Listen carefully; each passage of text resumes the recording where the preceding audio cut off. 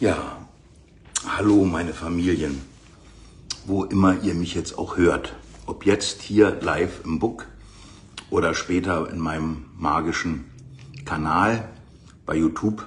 Ich grüße euch von ganzem Herzen und hoffe euch, ja, betreffs eurer Fragen, die ja das Fundament dieser Belehrung ja sind, wieder ein bisschen weiterhelfen zu können, sprich die eine oder andere Frage, die ihr in den letzten Wochen an mich gestellt habt oder herangebracht habt, mittels dieser Belehrung zu beantworten. Vorab muss ich bekennen, dass diese Belehrung, die ich heute halten möchte, mir nicht leicht fällt. Ich bin auch lange darum rumgeeiert, sie zu geben, weil ich merke, dass da ganz viel Scham mit drin steckt, auch ganz viel Gefühl von versagt zu haben, versagt zu haben als Lehrer, versagt zu haben als Vorbild. Das ist sehr, sehr stark und das möchte ich natürlich überhaupt nicht. Ich möchte ein guter Lehrer sein. Ich möchte ein authentischer Lehrer sein. Ich möchte auch ein Lehrer sein, an dem man sich erbauen kann, dem man wirklich vertrauen kann. Ja, und dieses Thema hat an diesem Lehrerbild sehr, sehr gerüttelt, weil ich hier auch ein großes Versagen von mir öffentlich machen muss. Ich betone es zu müssen, weil, und da bin ich dann vielleicht doch ein guter Lehrer, meine Schüler natürlich auch partizipieren, nicht nur von meinen Erfolgen, nicht nur von meinen tollen Erlebnissen, meinen tollen Heilungen, ob persönlich oder therapeutisch mit anderen, sondern meine Schüler sollen ja auch aus meinen Niederlagen, aus meinen vernichtenden Erlebnissen, aus meinen tiefsten Tiefen lernen. Und darum möchte ich das heute eben doch hier mit euch teilen und atme mich jetzt mal durch alle Peinlichkeit, durch alle Scham durch, in der Hoffnung, dass eben die Essenz dessen, was ich hier sagen will, bei euch ankommt und euch vielleicht damit davor bewahrt, ähnliche Erfahrungen machen zu müssen, wie ich die in den letzten vier Jahren gemacht habe. Es gibt ja so diesen Satz, jeder Schüler muss seine Erfahrung immer selbst machen. Meine Erfahrung ist, es stimmt nicht. Wenn ein Schüler sich an den Erfahrungen seines Lehrers erbaut, kann er dadurch durchaus ähnliche Früchte erzielen oder ähnliche Informationen in sein System überführen, dass er nicht das gleiche Drama, das gleiche dunkle Tal und den gleichen Absturz erleben muss, wie ihn vielleicht der Lehrer erleben musste für seinen eigenen Weg. Und vielleicht eben auch ein bisschen für die Wege seiner Schüler. Ja, jetzt zum Thema. Es geht um das Thema Üben. Und ich möchte ein paar Worte vorab stellen, die mein Leben zum Thema Üben immer wieder geprägt haben. Einmal ein Wort von Karlfried Graf Dirkheim, der immer gesagt hat, es gibt so etwas wie ein Erlebnis, wo sich der Himmel auftut, wo wir in die Himmel hineinschauen oder wie mein Freund René Bugnot mal sagt, wo sich der Himmel zu uns herabneigt, wo wir vielleicht sogar nicht Dualität erleben. Und dieses Erlebnis ist wie das Aufgehen einer Tür, ist wie ein uns treffender Impuls und anschließend kommt das regelmäßige Üben. Die Übung im Alltag und mit der geben wir diesem Erlebnis einen Raum, geben diesem Erlebnis ein Fundament, auf dem es sich dann zur Permanenz dessen, was wir da erlebt haben, entwickeln kann. Also dass wir ständig in diesen Zuständen sein können, die uns das Erlebnis von immanenter Transzendenz, von Einheit, von Gotteserfahrung etc. geführt hat. Also die Übung ist im Grunde die Schaffung eines Fundaments für das, was wir in der Gnade des Erlebnisses erleben dürfen. Und was uns total verändert, was uns total verwandelt. In meinem letzten Vortrag über Nichtzweiheit habe ich ja da ein paar Beispiele für gegeben.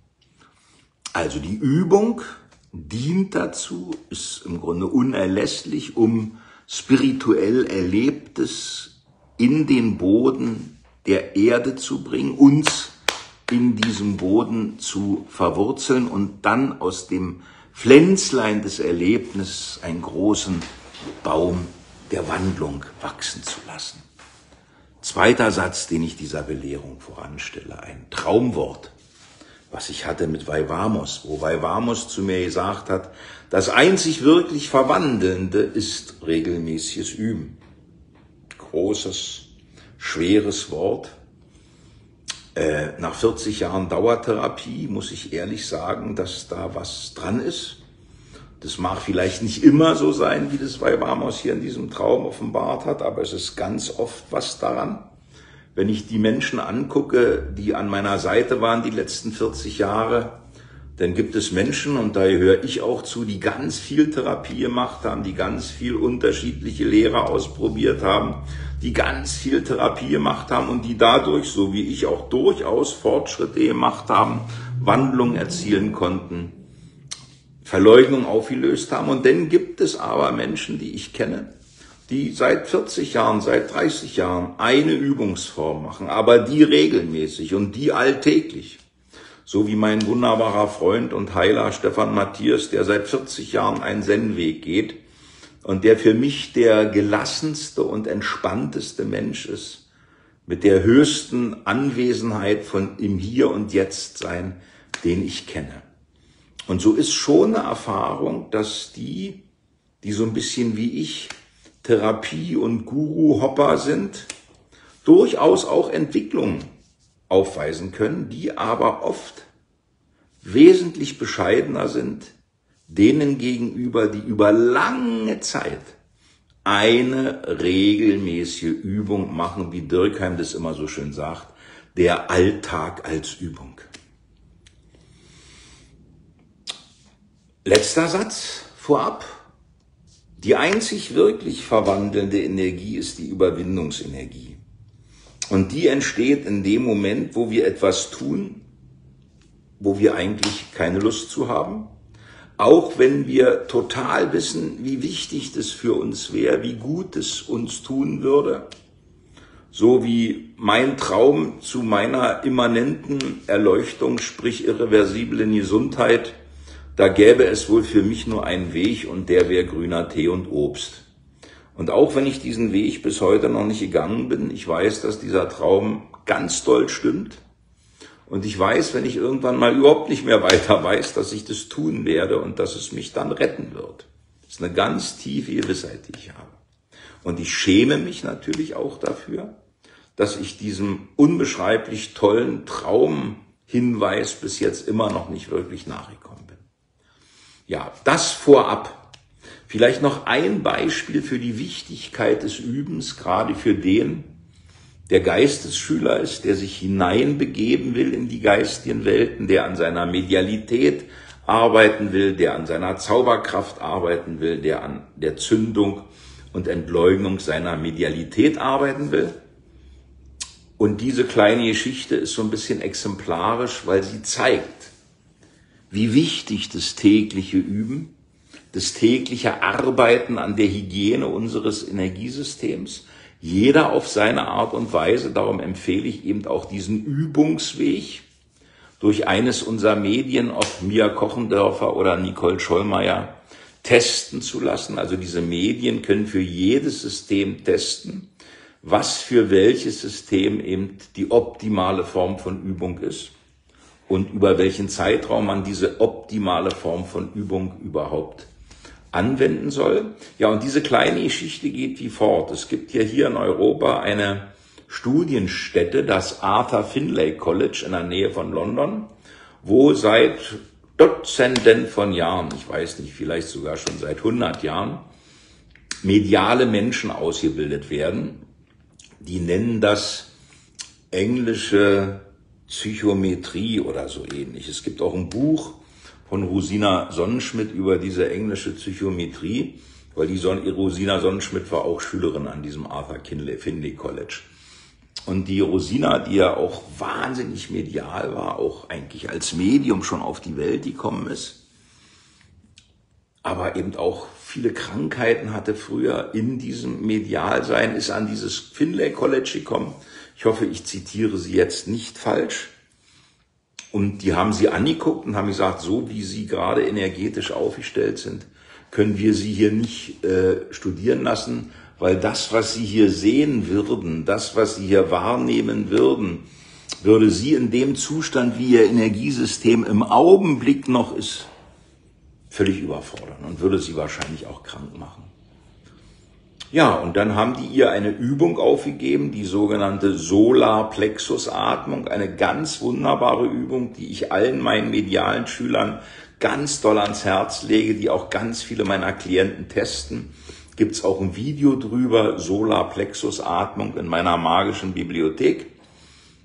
Und dann haben die gesagt, die machen sie jetzt erstmal ein halbes Jahr, das wird ihr Energiesystem stabilisieren, das wird sie fähig machen, Medialität selektiv anzuwenden, weil der gesunde Mediale ist ja nur medial, wenn er es wirklich will, wenn er sich einschwingt auf einen Zustand von Medialität, wenn er seinen Solarplexus öffnet, um medial zu empfangen. Er ist aber auch in der Lage, den Solarplexus zu schließen und dann nichts, aber auch gar nichts Übersinnliches wahrzunehmen.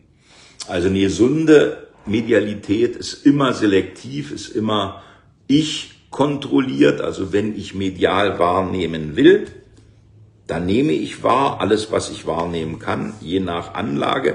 Wenn ich aber nach U-Bahn fahre und nicht sehe, was die alle für Krafttiere haben wollen und nicht sehen will, wie viel Seelen die in allen anhafte, dann mache ich meinen Solarplexus zu und dann bin ich auf der Ebene eines Currywurst-Bewusstseins.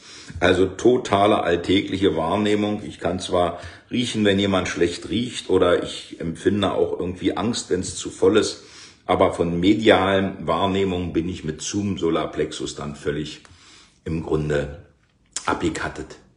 Ich meine, die große Rosina Sonnenschmidt hat uns nicht nur diese Solarplexus-Atmung geschenkt, sie hat uns zum heutigen Thema noch etwas anderes geschenkt, die Entrollungsübung. Auch die ist in meiner magischen Bibliothek als Video anguckbar.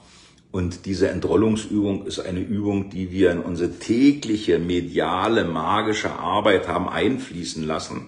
Und es gibt bei mir in meiner Aufstellung keinen Praxistag, an dem ich mich nicht abends entrolle. Wenn ich vormittags auch noch Praxis hatte, entrolle ich mich da auch noch mal.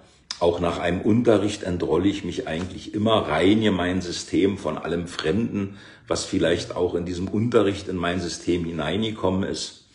Und natürlich nach jeder schamanischen Arbeit, nach jeder Ikone, jetzt am Wochenende 13 Ikonen, da wird es also mindestens 15 Mal stattfinden, die beiden Abende generell, aber je nach jeder Ikone die Entrollungsübung.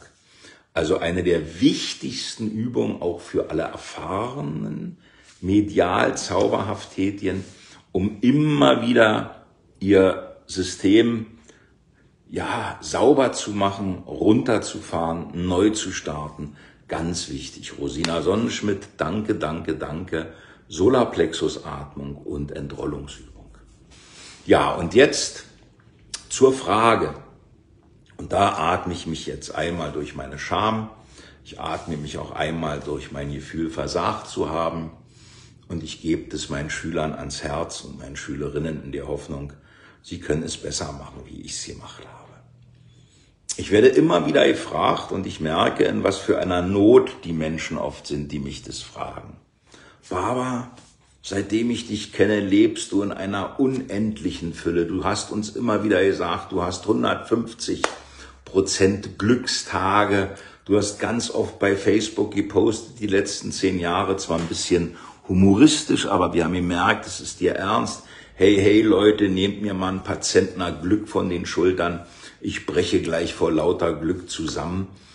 Also es ist einfach eine Tatsache, dass die zehn Jahre vor Corona Jahre waren, wo ich, wenn man das überhaupt so sagen kann, in meiner Wahrnehmung mein Leben wirklich in der Fülle und in der Ekstase und in der Sinnlichkeit und in der, und in der spirituellen Tiefe gelebt habe, beruflich, heilerisch, tantrisch, wie man es eigentlich nur leben kann. Also ich glaube, dass die zehn Jahre vor Corona mein Leben in 150 Prozent der Fülle einfach waren. Und so habe ich mich immer gefühlt. Vielleicht habe ich ja auch was verdrängt. Stimmt, habe ich auch was verdrängt, sonst wäre mir das, worüber ich jetzt hier spreche, nicht passiert. Aber mein subjektives Empfinden war ganz oft, ich bin der glücklichste Mensch der Welt. Dazu haben mich 30 Jahre Therapie geführt, die ich bis ich dieses Erwachen in mein völliges Glück hatte, ja im Grunde gemacht habe und die mich ja auch alle schon vorher auf ganz vielen Ebenen geheilt haben. Meine chronische lebenslange Migräne schon 82 geheilt worden durch Homöopathie und dann noch ganz, ganz viele Sachen. Meine Vaterproblematik, mein chronischer Heuschnupfen. Äh, ach, ich kann ja stundenlang über die Wunder erzählen, äh, die mir im Grunde passiert sind in den letzten 40 Jahren. Aber es war einfach eine Tatsache, dass das, was ich meine Lebendigkeit nenne, dass das, was ich meine tiefste Freude und meine tiefste Ekstasefähigkeit nenne, dass das bis zum Himmelfahrtstag 11 nur zu 85 Prozent gelebt wurde von mir. Ich habe in einem Seminar, was ich mit Iris Hegerich 2010 abgehalten habe. Es hieß Orgasmus, nein, danke. Da ging es um die Gründe, warum wir unsere Sexualität unterdrücken. Eine innere Reise gemacht, wo wir im Grunde auf einer Skala von 0 bis 100, 0 war, wir leben von dem, was in uns ist, überhaupt nicht. Und 100 war, wir leben uns zu, ach ja, ja, eben zu 100 Prozent. Hatte ich einen Wert von 15 ich wusste, dass der stimmt. Ich wusste, dass ich nur 15 Prozent dessen lebe, was vielleicht äh, lebensfähig gewesen wäre. Es hat mir einfach kein anderer geglaubt, weil ich auch mit diesen 15 schon ziemlich in der Fülle gewirkt habe und auch ziemlich glücklich gelebt habe. Ich habe ja nicht erzählt, was ich alles nicht lebe, aber das, was ich auch mit diesen 15 Prozent gelebt habe, war immer noch viel mehr, was die anderen Menschen, die normalen Menschen für sich leben. Das ist eben ein Zeichen dafür, wie viel Unterdrückung in unserer Gesellschaft, was Lebendigkeit und Fülle und gerade Sexualität angeht, einfach vorherrscht. Dass selbst jemand, der 15 Prozent von dessen lebt, was möglich ist, schon als übergesund angeguckt wird. Ja, und dann hatte ich ihm dieses unbeschreibliche Erlebnis in diesem Seminar meines vielleicht wichtigsten, mitwichtigsten Lehrers nach Dirkheim und Hellinger und Salman Schachter äh, meines wunderbaren Leonard Schorschs Himmelfahrtstag 2011.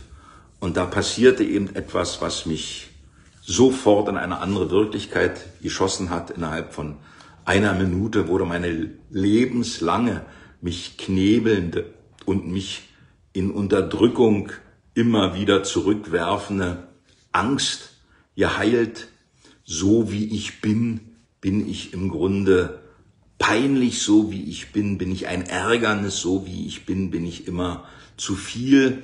Es wurde eben in einem kleinen Ritual, was ich mit meiner Lehrerin und Freundin Heike Wittenbecher machte, angeleitet durch Leonard, meine lebenstiefste Scham geheilt. Und mit dieser Schamheilung bekam ich ein Ja so zu leben, wie ich eigentlich gemeint bin, eines der Urmottos der Samuel Hahnemann Schule. Leben, wie du gemeint bist. Wer sich dafür interessiert, was da passiert ist, der möge sich doch meine Hyos Zyamus Vorträge, Magische Bibliothek, so ab 2011, 12 anhören. Da spreche ich ganz viel über das, was da auch in diesem Seminar passiert ist. Ja, und dieser Zustand, dieser unendlichen Fülle, der hielt.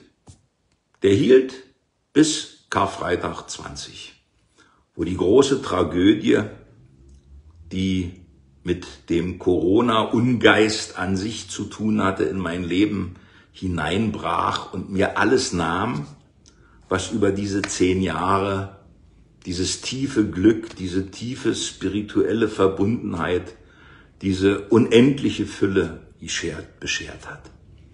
Also diese Gnade dieser neun Jahre verschwand im Grunde unter den Angriffen des Unlichts, auf die ich hier nicht weiter eingehen möchte, innerhalb von Tagen.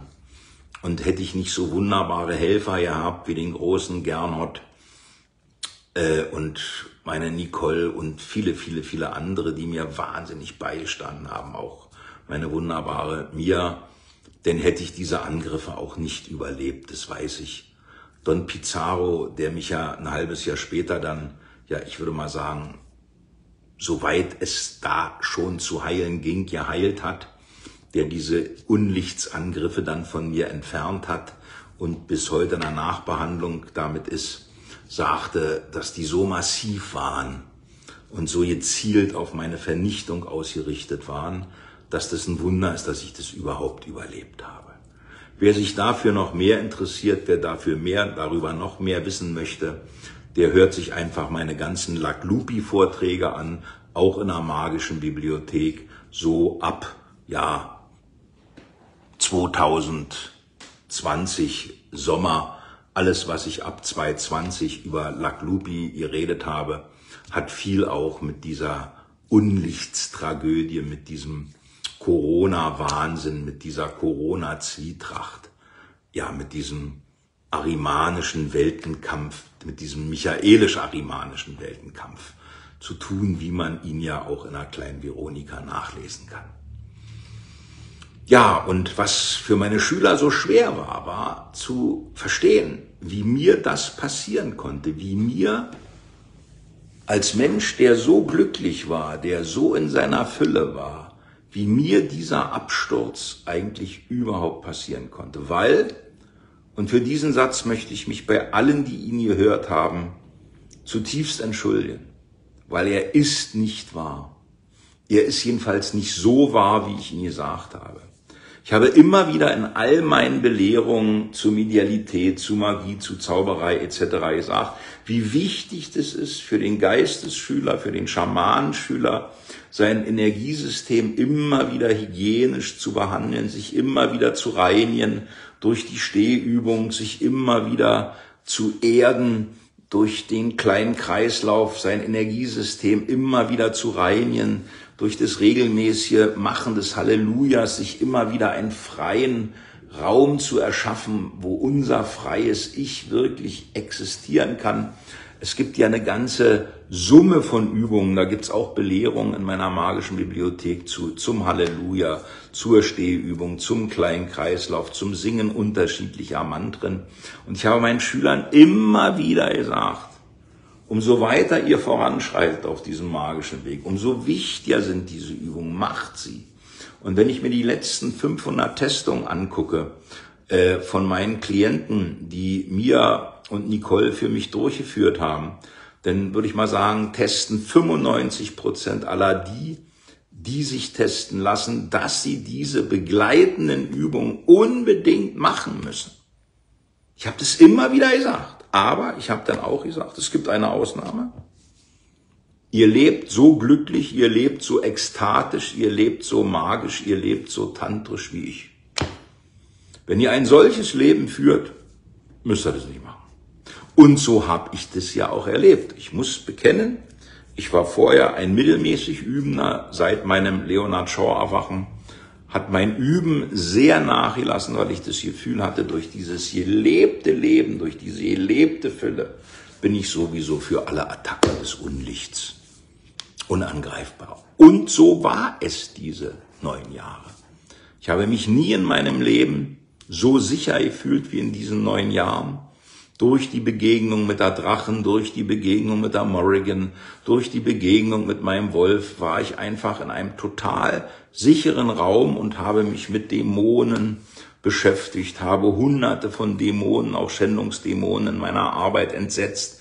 Das wurde auch immer mehr getestet, habe ja auch hunderte von Drachenen erweckt und damit der Welt ganz viel dieses magische, heilende Feuer geschickt und ganz vielen Menschen ein wirklich wunderschönes Leben bereitet dadurch, dass sie in ihre Drachenkraft gekommen sind. Und mir ist nichts passiert. Ich war sicher wie in Abrahams Schoß. Und ich habe leider, und das ist falsch, ich betone hier, es ist definitiv falsch, immer wieder gesagt, wer sich so fühlt, wer in einem solchen Zustand ist, braucht nicht mehr üben.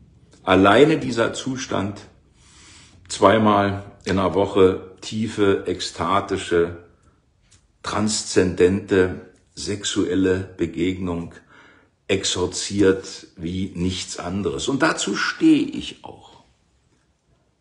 Wozu ich aber auch stehe, und das ist das, was ich euch heute aus einem ja wirklich auch tiefen Gefühl von Schuld, dass ich es mal anders gesagt habe, weitergehen möchte. Wenn das dann aber mal wegbricht, und es kann wegbrechen, ich bin das beste Beispiel dafür, und diese unendliche Fülle, diese unendliche Freude verschwindet, seid ihr, wenn ihr nicht auch in den guten Zeiten eure Übungen weitergemacht habt. In dem Moment, wo dieses Gute alles verschwindet, absolut zum Dämonenfutter prädestiniert.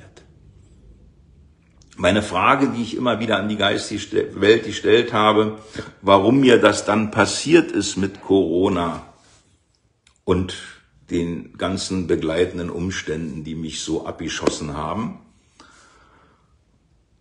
Auf diese Frage kam die Antwort der geistigen Welt, so wie sie ja auch bei meinem ersten, ja, Dämonenkollaps vor 20 Jahren, ich diese Antwort aus der geistigen Welt gekriegt habe, sprich meine damalige behandelnde Schamanin Elke Martin, als sie den Dämon aus meinem System entfernt hat, gibt es auch ein wunderschönes Video drüber in einer magischen Bibliothek, das heißt Besessenheit. Es gibt ja eine ganze Playlist über Dämonenarbeit und Besessenheit und da ist dieses kleine Video über Besessenheit, wo ich über meine eigene Besessenheit vor 20 Jahren spreche. Und in beiden Fällen, jetzt und damals, war die Antwort derer, die mich da versucht hatten zu eliminieren, und vor 20 Jahren war ja diese Arbeit bei Weitem noch nicht so intensiv und bei Weitem ja noch nicht so lichtorientiert, so michaelisch wie jetzt vor Corona. Ich glaube, ich habe noch nie so aus einer michaelischen, befreienden, liebevollen, verwandelnden Energie heraus gehandelt wie in den Jahren vor Corona.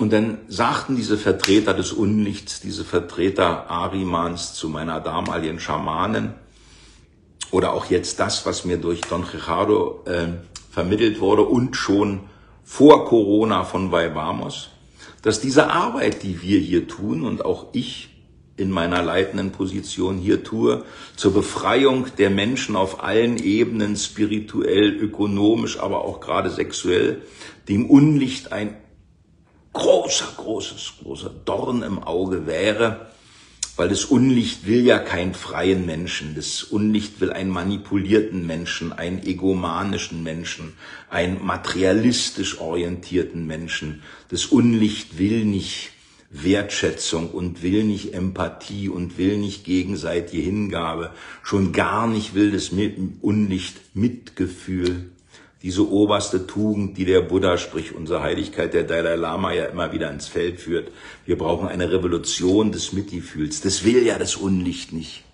Das Unlicht will den Maschinenmenschen, auch den leidenden Menschen, weil Teile des Unlichts ernähren sich ja, siehe Schlammschatten Carlos Castaneda, die Belehrung von Don Juan an seinen Schüler Carlos, wo er über die Schlammschatten redet, die direkt im Grunde von diesen traurigen, selbstvorwürfigen Emotionen von Menschen äh, ja, leben oder wenn ihr mein Lehrbuch für Dämonenjäger Jäger Terry Brooks Dämonensommer liest, dann hört ihr ja auch von den Fressern, diesen energetischen Wesenheiten, die sich an der Angst und der Verzweiflung und auch der Nicht-Empathie, der Empörung, Empörung ist oft totales Dämonenfutter im Grunde der Menschen erbauen.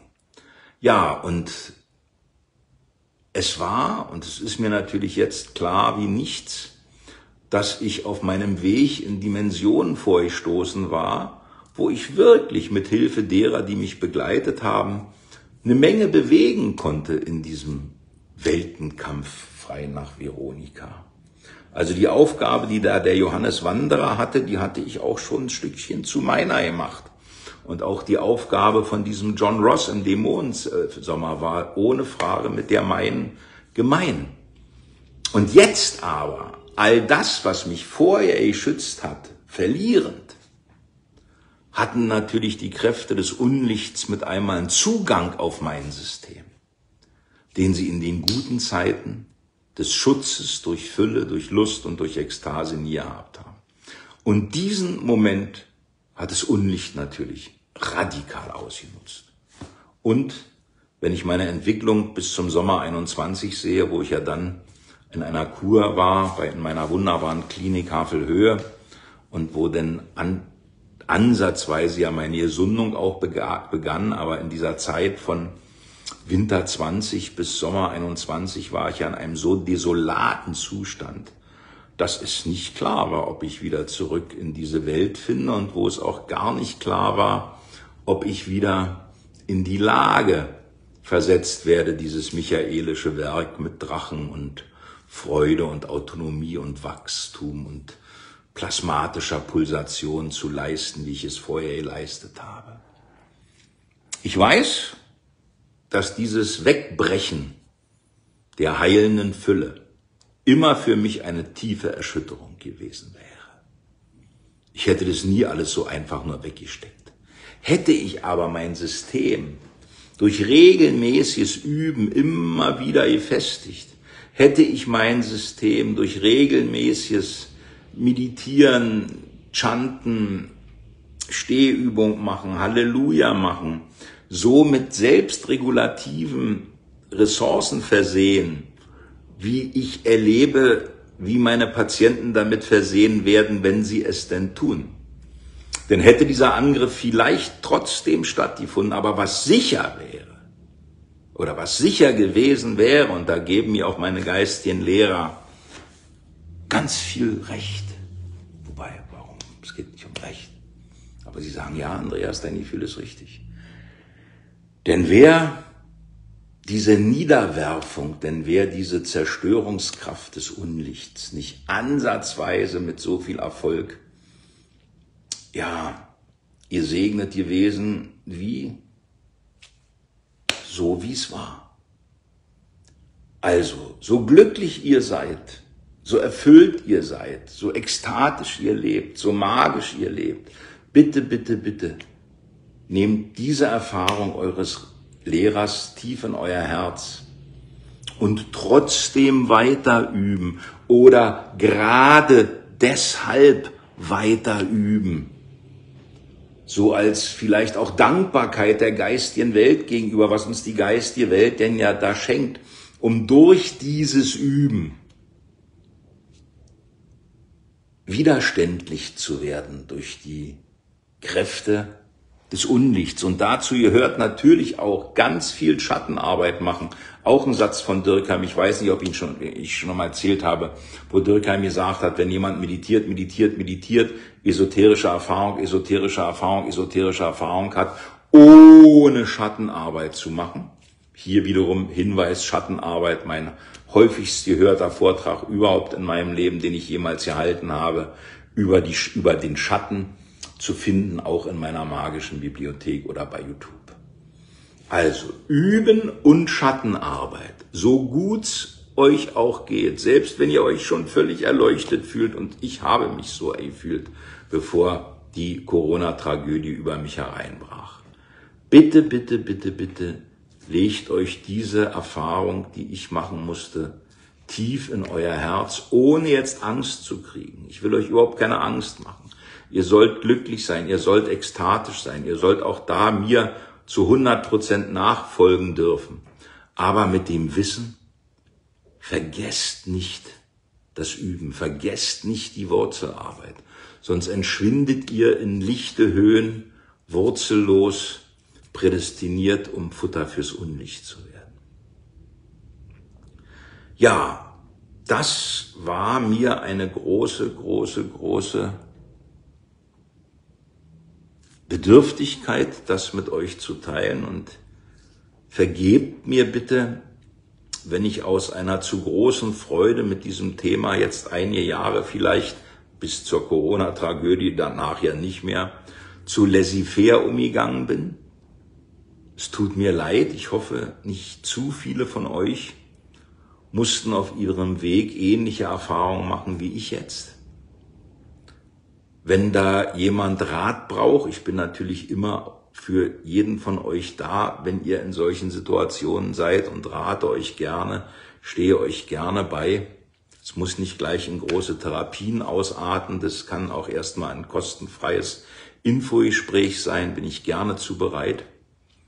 Ja, und ich ende mal mit dem Üben, Üben, Üben.